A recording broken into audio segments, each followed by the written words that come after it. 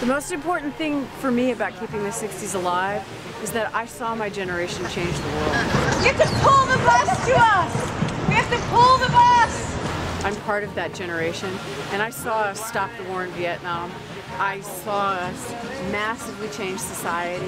We took life out of the nuclear family bubble that it was in and brought it out into the streets and into community with each other and touched nature.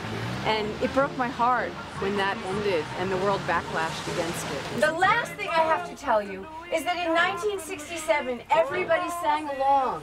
And if they didn't know the words or they were shy, they sang even louder. Flagstaff, Arizona, don't forget Winona, Kingman, Barstow, San Bernardino, you. Well, we start at, uh, at Union Square, and then we go all the way down Market Street. But before we go, we go through Chinatown, and we stop right at the end of Chinatown at City Lights Bookstore.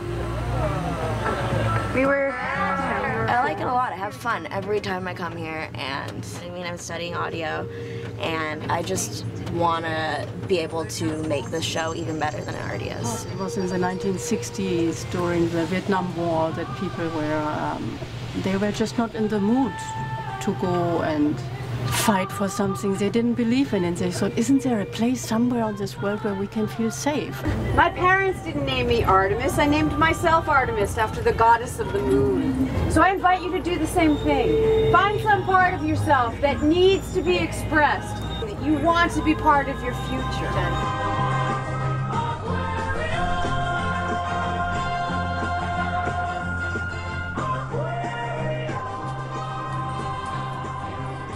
This for me is a mission.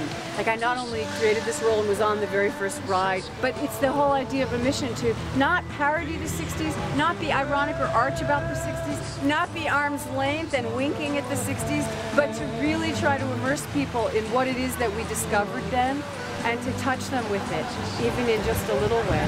And it's very moving for me that it works. So that's that's my quest and why I'm going to keep doing this as long as we possibly can.